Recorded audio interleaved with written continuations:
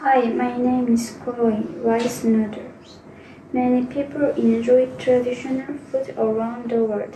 What's your favorite traditional food? Personally, I like rice noodle in Vietnam. I have two reasons for that. First, Vietnam rice noodle is delicious.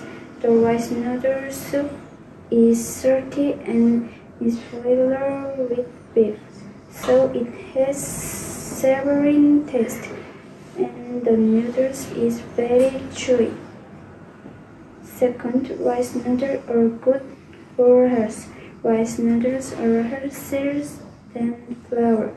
It's because it has less gluten, so it is easy to digest.